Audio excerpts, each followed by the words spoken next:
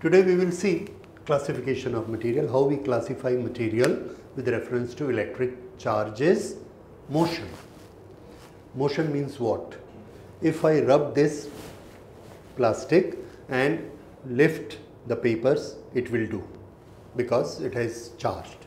If I rub a metal plate, copper, silver, then I see that it is not lifted because answer it is not charged.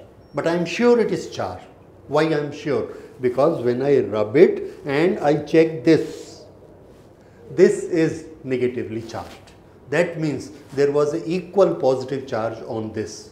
Then why it is not showing the charge? The answer is that charge has gone to my body and it has gone to earth. Okay, it should happen every time. Now when I do it with the plastic, it gets charged and now it is not going to earth, it is showing its force everywhere. Why it has not gone in case of plastic and why it has gone in case of copper? The answer is, okay, we don't have a single answer and when we don't have a single answer, we classify. Few things behave like this, few things behave like this. The same thing we have done for the material and we classify the material.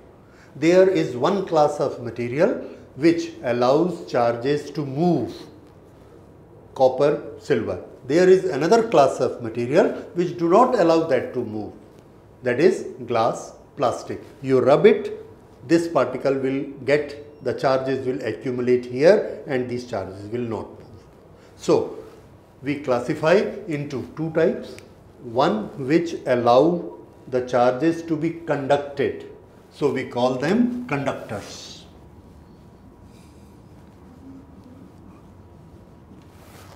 Conductors. And other is we will call them insulators. Insulator which will insulate the charge here insulate separated out. So which will insulate the charge on this part from this part. So those are known as insulators. So conductors i will write the definition of the two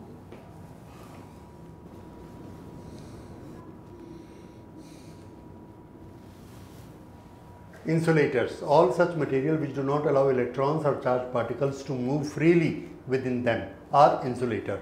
Example, plastics, porcelain.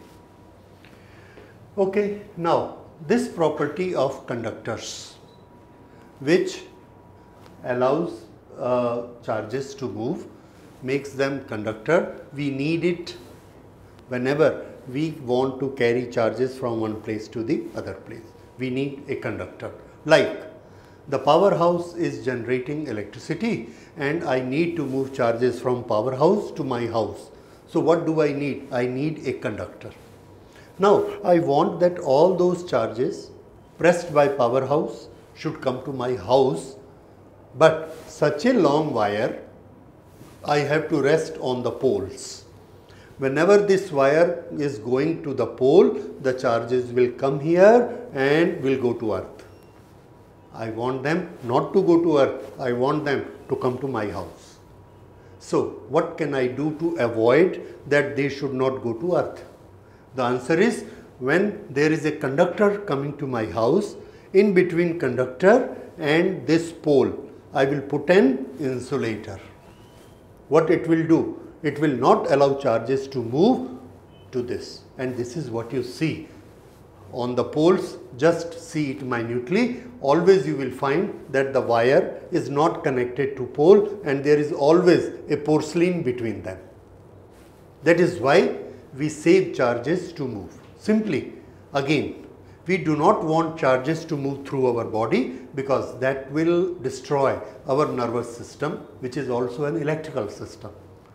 So charges should not come to our hand. So what we should do on every conductor we put an insulator on every machine we put an insulator so that we can hold it. Now the charges will not go to my body and to the earth. So both are equally necessary like in your motorcycle if you have an engine to run it that is a must but the very next thing which is a must is a brake If you don't have a brake, you won't even dare to run a motorcycle. So, the simply this is conductor for conducting electricity and this is insulator to hold it so that it does not go to any unwanted place. Okay. Now, a conductor has a property, good conductor, very good conductor. What is that property we call? So, we call that property as conductivity. And what is property of insulator? Insulator we have a property that insulation or we call it dielectric strength. Dielectric strength. Okay, so remember what is property of a conductor that it is a good, a better and the best conductor. That property is conductivity which is more and more.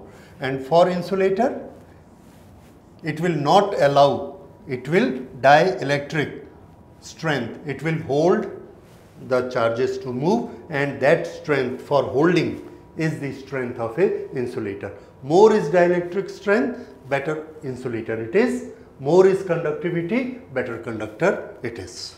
Okay. So, this dielectric strength we will do in the next class.